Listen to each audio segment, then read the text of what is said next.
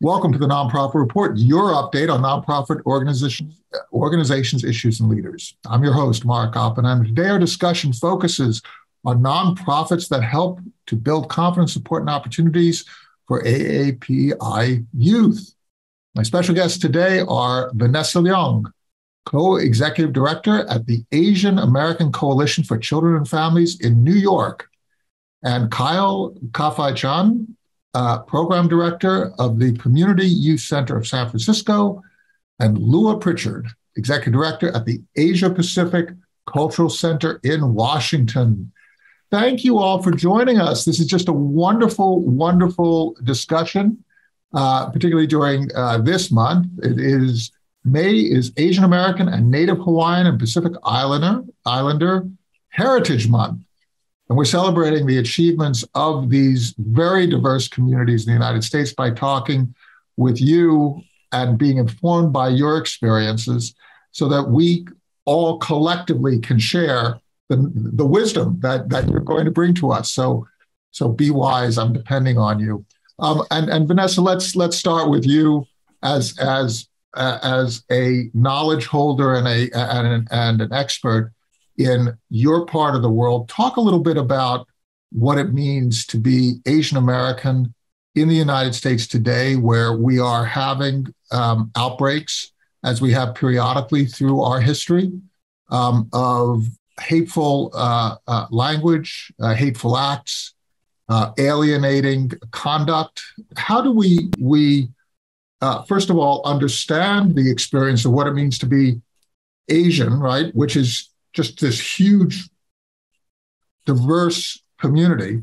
Um, and, and how do we ensure that America embraces us all? Yeah. So um, CACF, the Coalition for Asian American Children and Families, we are here in in, in New York. Um, and we are you know as a coalition we we work across the diverse asian american community. And i think oftentimes um, we constantly have to remind folks about that the community is not a monolith.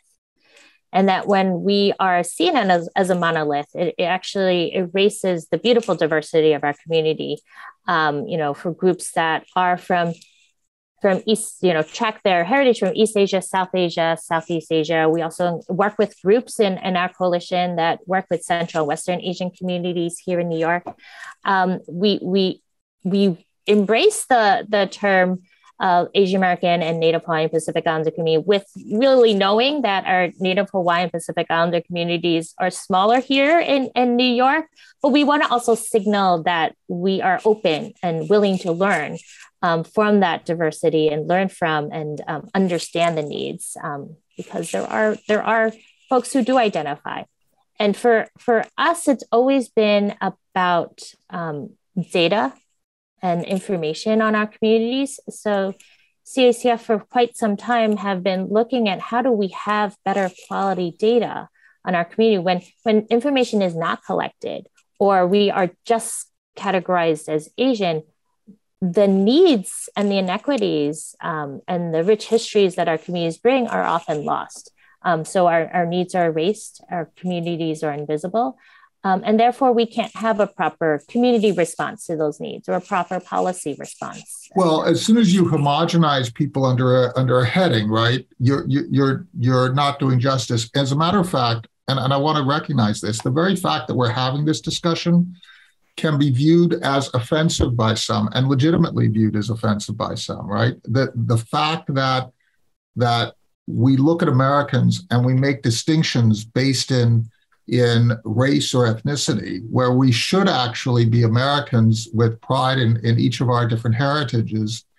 But we have a problem in this country, right? We have an issue that if we don't talk about we're, we're kind of bad if we do it down, we don't. And and talking about it is is so much better. Kyle, could you give us your take from from where you are in terms of this really complicated issue? And then Lua, I'd love to uh, chat with you and and uh, just sort of be informed by each of your sensibilities and then let's let's really jump into the kind of uh, programs that you're advancing kyle Absolutely. Thank you, Mark. First and foremost, thank you for having us. It's an honor to be on this panel with all the panelists here on AAPI Heritage Month.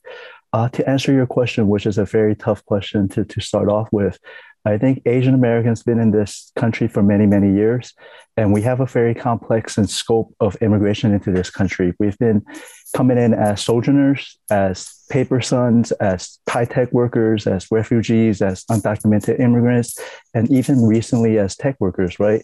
But like everyone was saying in this panel, we're still pretty much invisible. We're still gaslighted into believing that we don't belong here.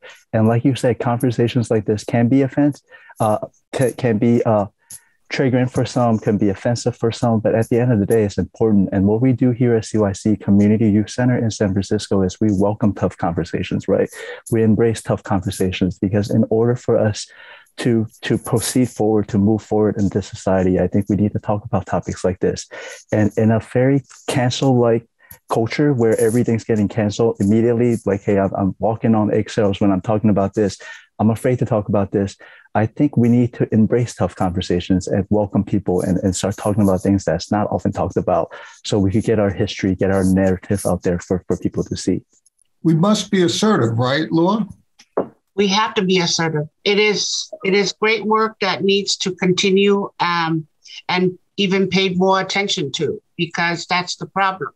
Uh, often in the past, um, for example, there's so many important things like voting. For example, uh, who who does America bring up uh, next to mainstream America? Is the Hispanic Latinx. Uh, God bless them all because you know we we are they're our partners and there are people too.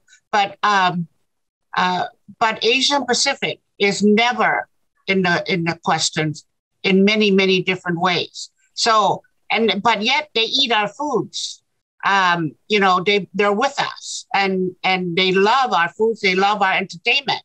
But they, it, it's when it talks about big subject matters, uh, especially where funding is concerned, we're often forgotten. And and and then they because they don't understand who we are and how many of us and how different we are from each other, they have no clue. So they lump us together for many different ways. And that's why we're we're working so hard and been working so hard in trying to disaggregate our data, not just Asian Pacific from each other, but Asians from each other and Pacific Islanders from each other, because we are all lumped together in so many different ways, but yet we are so different from each other. Um, and we have similarities. People don't know that, but but we also have beautiful differences. And well, people need other people need to know who we are and you make reference to uh, to it could be called pejoratively cultural appropriation or honoring a culture, but without being informed by its origins, right? Benefiting from from um, a cross fertilization that is happening now through the internet and through through the fact that we are, as you said, through the foods and so on and so forth.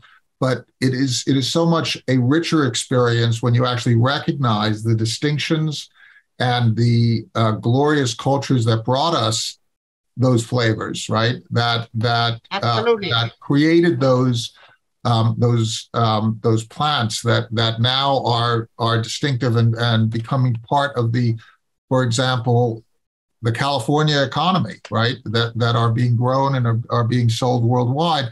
Let's talk a little bit about this this issue in in general because as you referenced, Lua, there are uh, partners that have their type of experience, but in a very similar uh, vein. And Gail Kong, my former and forever uh, boss, um, just just raised that question: Have community organizations, have you all hosted um, uh, discussions with others who have the same experience as you referenced, Lua?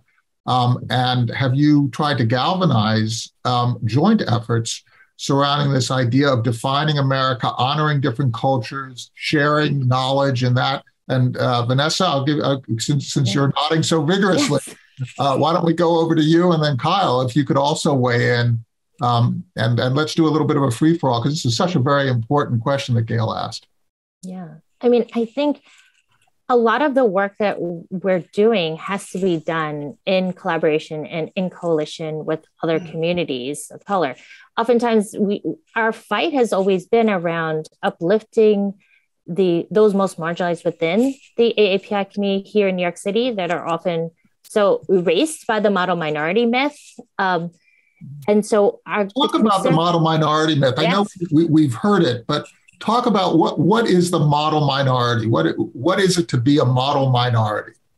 Well, you know, in essence, it's it's this uh, almost innate ability to be successful in this country. That it's almost like through this hard work that it is kind of a um, often a given that our community will be successful, and we know that at the end of the day, that's so harmful, not just for the Asian American community because it erases the struggles um, and the challenges that that face our communities and actually says like why do we need to invest in that community if they're doing so well? But it also has been used um, our community has been used as a wedge um, to you know to justify underinvestments in other communities um, of color particularly. And so you know this is it often seems to be like, oh, that's a nice thing to be like, oh, you're a model, but well, also don't don't vote, just be a model minority. Don't raise your voice, just be a model minority. Yes. And by the way, put your head down, work hard. Right, and ignore ignore the issue of of, of poverty and suicide amongst uh, amongst uh, particularly amongst older women in in in certain communities. It's basically ignoring it, it, it, gives license to ignore because you know everything will work out. And by the way don't don't talk and you know that kind of it's it's unbelievable. Uh, kyle um, what were you going to say Sorry, Mark, if I could jump in, because I think with the model minority myth, one of the one of the talking points that gets often overlooked is aside from the limiting of resources to AAPI communities, it's also how it's used to pin other racial groups against us, right? So it's like the Asian folks are coming in to take our jobs, the Asian foods are coming in to, to gentrify us, to take our houses. But reality is we are facing the same, same struggles that any other minority groups are facing. And on top of that, another point that's often mute and not talked about is the underreporting of AAPI communities. I grew up in a family where we don't trust the government and people don't talk about that, right? They think that, oh, if things happen, we automatically go to the cop. But culturally, we're trained to keep things in house, to not bring shame to the family and not talk about it with others. So that's often not talked about with the AAPI community. You know, uh, Lua, you were also nodding vigorously. Did you have a point that you wanted to uh, make in particular about this this topic? Well, that's why disaggregating data is so important. That's why we're working so hard, have been working so hard, and still will continue to work hard because there are always people. And plus, oh my gosh, government takes so long to do something. And so we've been begging and begging to get our data straightened up and even in in uh, the census uh, data, because we're so undercounted as well, uh, we're never considered uh, up there in the in the big numbers uh, because we're always undercounted. But I think everybody is undercounted for that reason. But we feel so um, undercounted because I feel because of our language and cultural barriers, we're, we're extra undercounted uh, for those matters and immigration issues as well. So that's why it's so important to disaggregate the data because there's so many of us who are poor and in poverty and uh, failing in school and you know and not making it and not going to college and and not getting the right jobs and mm-hmm. and and so forth. And so that's why data is so important. Very very important. There's also a matter of of defining America. Could we could we talk a little bit about what America is because there is this this issue. You've, you've heard about the Great Replacement theory, right? Where you have a huge number, a third of the population, believe in in in this nonsense, right? And so we have to start thinking about America differently. How do you think about America, Lua, in terms of, of what America is and what America should be, and that delta? You know, when I was growing up, there was always this thing, you know, America is a dream place to go to. But then you come here and you grow up and and you and you experience so much hate, so much racism, so much violence and so forth. Um, and is this the dream place that I that I grew up to uh, want to be at? But we're here, and we we come to the United States of America because we want to make something out of us. But that's the other stereotype that America has on us is that they think that we came here just to get something handed down to us. Well, for Asia Pacific people, I can only speak for. We're hardworking people. We do not want uh, handouts to us. We want to earn them, and so we you know we we work so hard to get. And and that's the other thing. That's the there's so much stereotyping of who we are. People hate us for the wrong reasons, and and and they're they're thinking that we came here just like what Kyle said. We came here to take things from from people here. Well, you know, as we learn more and more and get educated, everybody came here. You know, we're all immigrants. And what makes you different from any of us? We came here for the opportunity to learn more and to be someone, you know, to live, to live and to and uh, and to make that dream come true. And yeah, we help our people back home. And so what? That's love. That's the love of a family.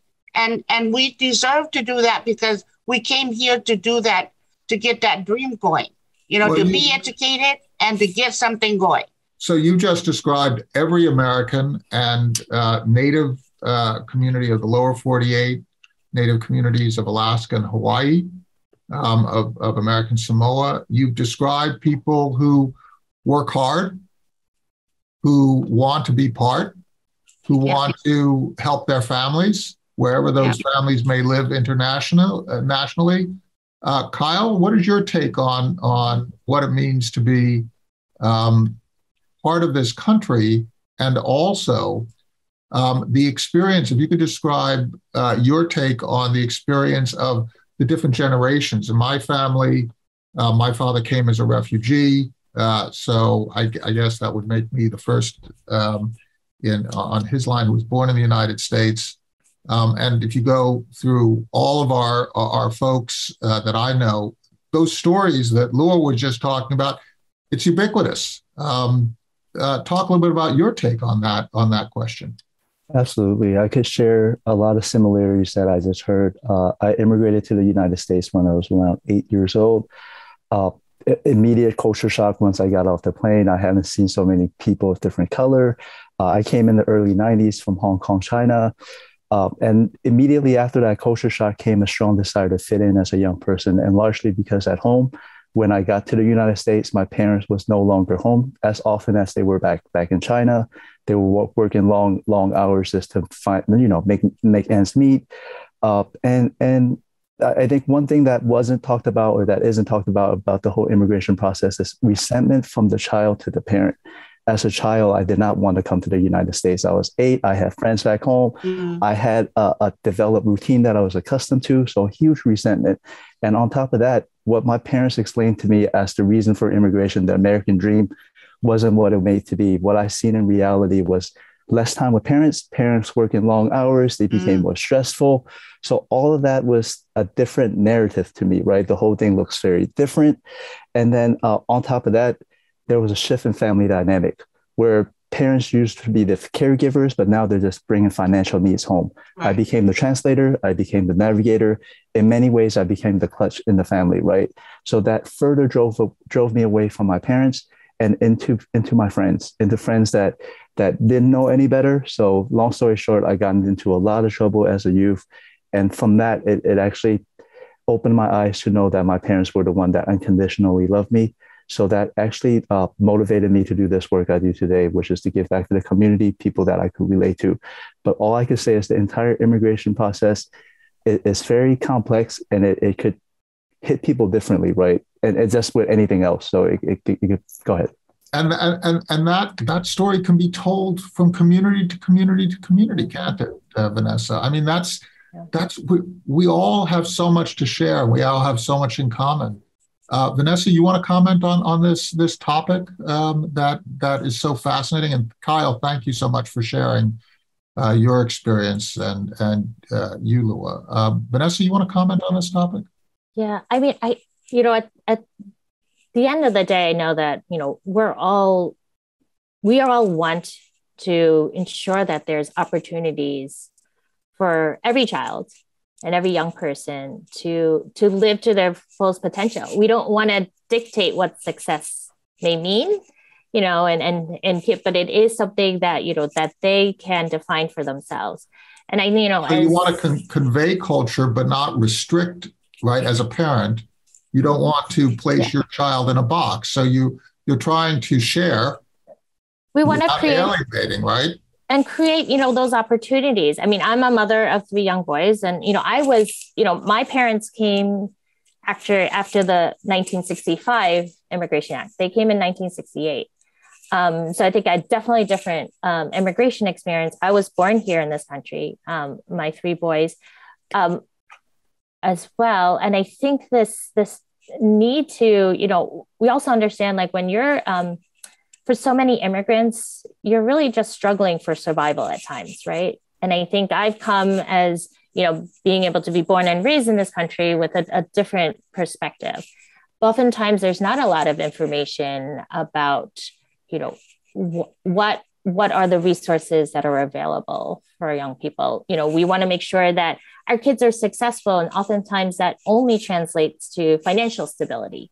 Um, but in essence like what is that you know we can't often have like you know we've had our conversations with community groups with immigrant families.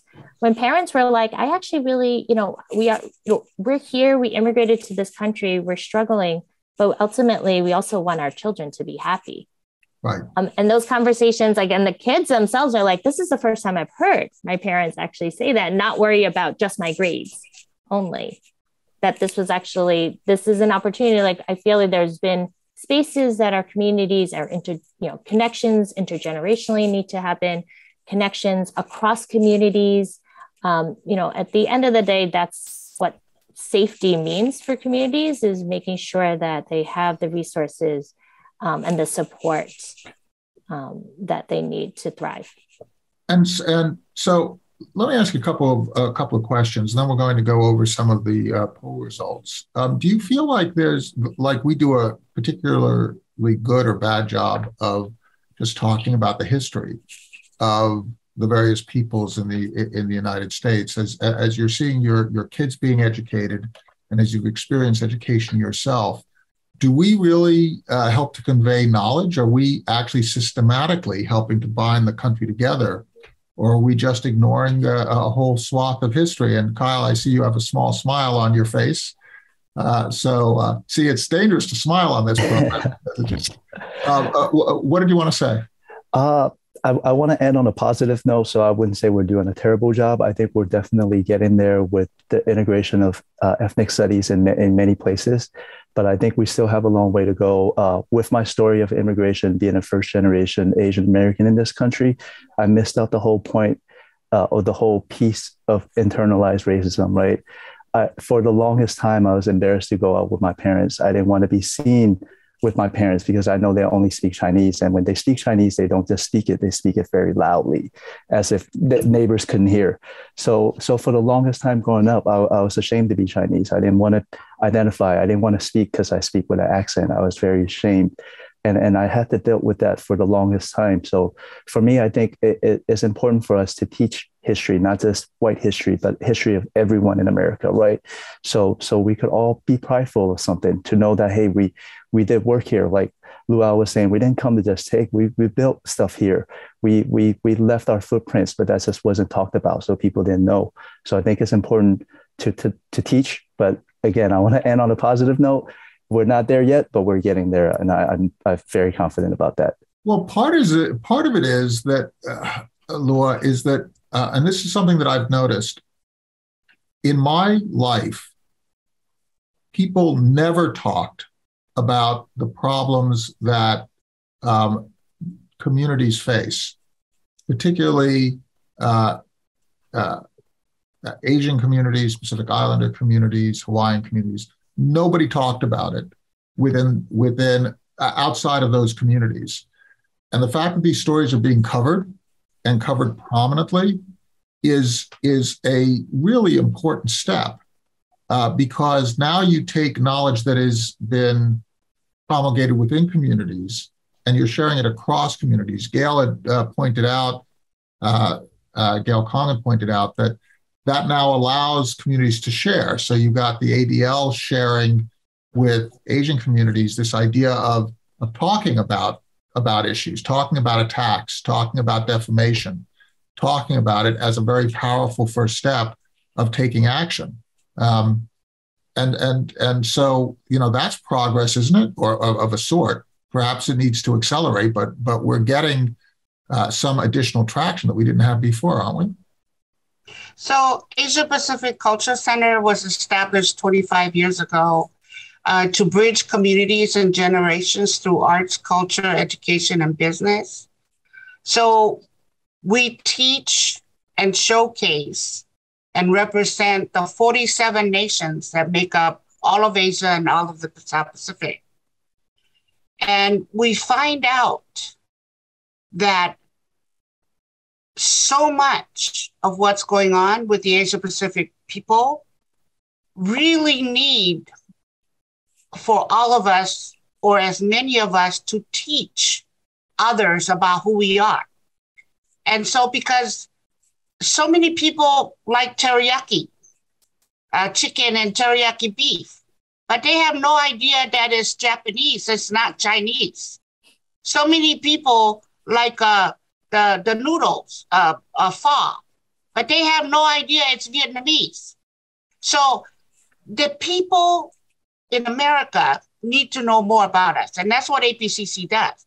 But so we're going to the schools and Office of Instruction here in Washington State, and we've been working on this for a while. Not just APCC, a, you know, a group of leaders of us, especially the ones in education. We want to teach Asia Pacific history in the schools. So that is surfacing and surfacing more and more.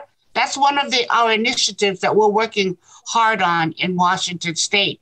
Well, and you know, if you're going to, excuse me for interrupting, but you make such an important point. If you're going to be a country that is inter uh, that is actively connected to the world, if you're going to be doing business in Korea versus Japan, or you're going to be doing business in China versus the Philippines, or in Vietnam, or or in in uh, the South Asian countries, uh, India and Pakistan, and so on, you have to understand the distinctions. My goodness, you have to show respect. You have to be knowledgeable, and yes. it's true no matter what you're what you're doing. And what you're saying is, get it together, America, because if you're going to be strong and you're going to be a world power, you're going to be economically thriving. This is this is key. And yes. you know, if we look at if we look at some of the responses on the polls, it was very interesting. Um, seventy um, percent of the of the respondents said that they were going to actually mark uh, this month. Um, uh, uh, the um, the Asian American and Native Hawaiian Pacific Islander Heritage Month with some event. Maybe it's going to a restaurant with family or, or going to a cultural activity. Um, uh, also, and here's an interesting 88% said that we're not doing a great job of educating on uh, AAPI heritage in, in the public schools. And finally, this is really interesting. Where the two places where AAPI heritage, culture, art, history, and traditions are best conveyed to next generations. And this is interesting.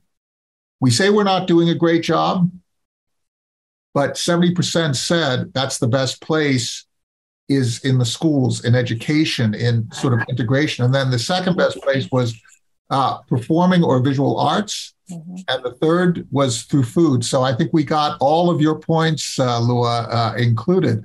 Um, I'm going to uh, go back and give the last word to Kyle.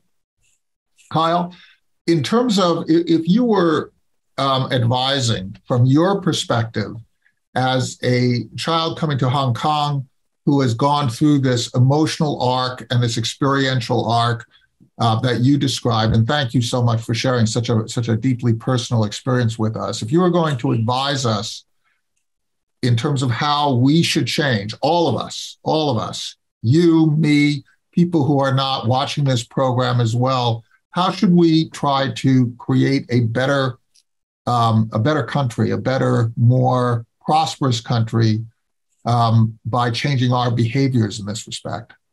Thank you, Mark, for for giving me a, a very tough question at the end. I, I I would say stay trauma informed, be genuine. I think it's very important that, that we spend the whole show, kind of whole segment talking about how diverse the API community is.